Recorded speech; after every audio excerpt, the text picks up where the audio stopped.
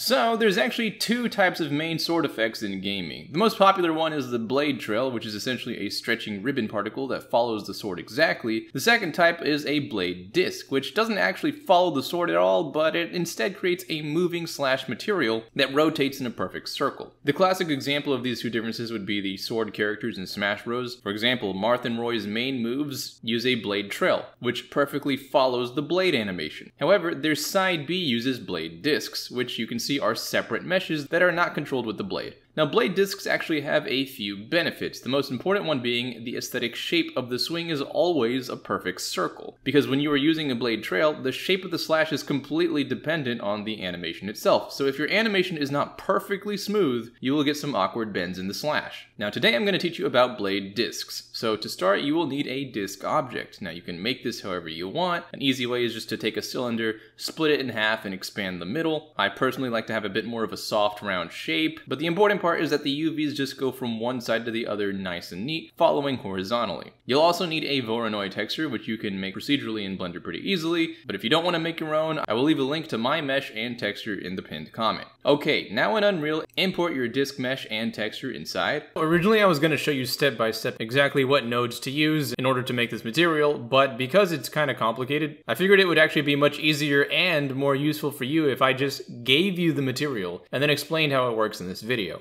So in the pinned comment, along with my disk mesh and my disk texture, you will also be able to download this material. Keep in mind you will need Unreal 5.4 to open it though. So let's break this material down and show you how it works. This first part is just the slash mask, which is made of the Voronoi texture. These parameters here just do basic horizontal and vertical movement, and then control the X and Y tiling. When you apply this to an actual disk mesh, then it will look like this instead. And when you change these parameters, you'll start to see how it affects the shape of the design. And this dissolve parameter just controls how weak and faded the effects become. Now this second part just limits the area of the Voronoi. We only want the material to show up in the middle of the mesh, so that's what the sphere node is for. These parameters essentially just let us control the size, width, height, and sharpness of the sphere. So when you see it on the real mesh, it looks like this.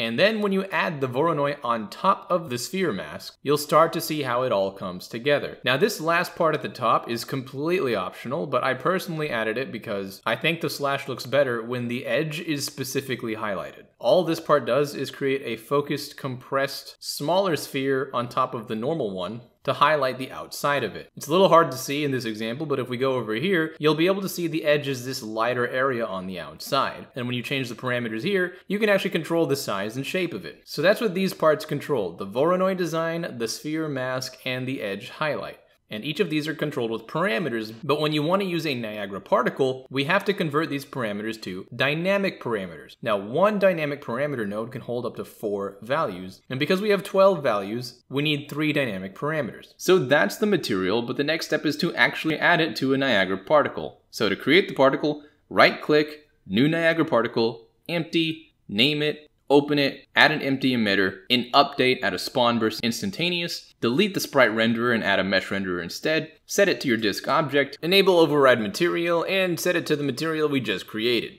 Under initialize, set it to something like 0.35. You can change the color to whatever you want here. And under mesh attribute, we want this to be uniform and the size will be controlled here. Now to make it rotate under particle spawn, an initial mesh orientation, set mode to none, and then check the rotation. I want mine to be horizontal, so I'm gonna set it like this. And now to make it actually rotate, we have to add a mesh rotation force. Fix the issue, and now here, right click the arrow, make a vector, and right click, this will give us a curve. Select both points and right click to make them smooth. Then under scale, this controls the force of the rotation and that gives us something like this. If you add dynamic parameters, once you make sure they're checked, you'll be able to control all of the material stuff from here.